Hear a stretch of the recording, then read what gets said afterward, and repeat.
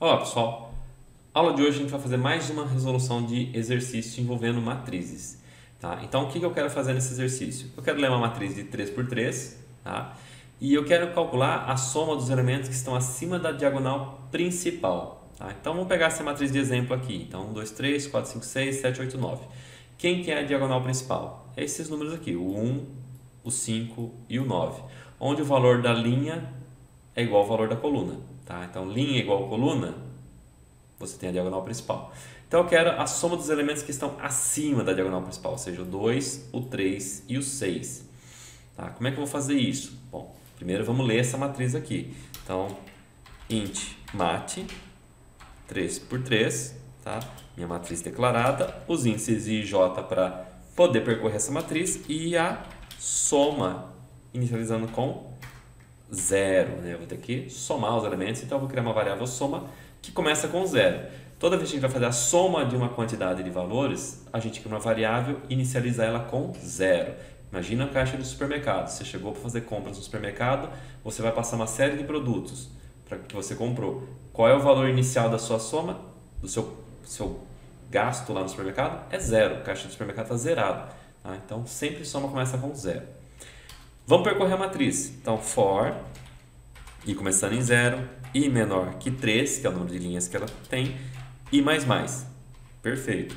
Para cada linha, eu tenho que percorrer as colunas. Então, vou fazer um novo for, tá? só que agora trocando i por j. Então, j começando em zero, j menor que 3, que é o número de colunas, j.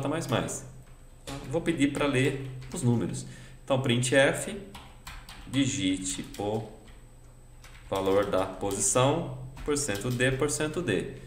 Então, dois pontinhos aqui, vírgula e j. Coloquei aqui para a gente poder visualizar.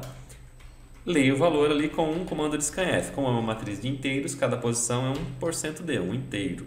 Vírgula e comercial mate de i, j. Então, estou percorrendo cada posição da matriz e lendo cada um dos seus valores. Já inicializei a soma. Tá? O que, que eu tenho que fazer agora? percorrer novamente a matriz e selecionar quais posições eu vou somar. Então, eu vou duplicar isso daqui, tá? fazer uma cópia aqui. Perfeito, vou tirar o print e scan, eu não preciso deles mais. Então, percorra toda a matriz. Quando é que eu vou somar um elemento? Quando ele estiver acima da diagonal principal. Então, ó, linha, coluna. Tá?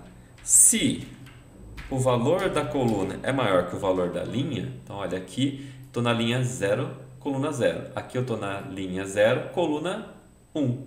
Linha 0, coluna 2. Tá? Aqui, esse aqui eu não vou considerar. Linha 2, linha 1, coluna 0. Linha 1, coluna 1. Linha 1, coluna 2. Então, sempre que o meu J é maior que o I, eu vou somar. Tá? Então, se J é maior que I, então o valor, o número da o índice da coluna é maior que o índice da linha, logo está acima da diagonal principal. Eu vou fazer o que? Soma, tá? recebe o valor anterior de soma mais a posição selecionada na matriz, mate IJ. Esse if aqui só tem esse comando, logo não precisa de chaves. Elas são opcionais, mas se eu quiser eu posso colocar. Terminou de percorrer toda a matriz, fez isso aqui para todas as posições, o que, que eu vou fazer? Imprimir o resultado. Tá? Então, soma igual, porcento %d, barra n, vírgula, soma. Vamos fazer um teste? Então, vou digitar a matriz que eu dei de exemplo.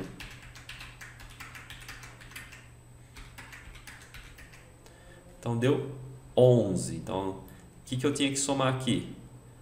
o 2 mais o 3, 5, com mais 6, 11. Tá? Então deu certo, ele pegou os valores que estão acima da diagonal principal ali. Perfeito?